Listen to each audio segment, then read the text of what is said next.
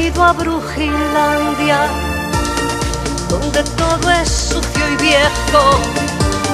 Las noches aquí son largas, se oyen aullidos en la madrugada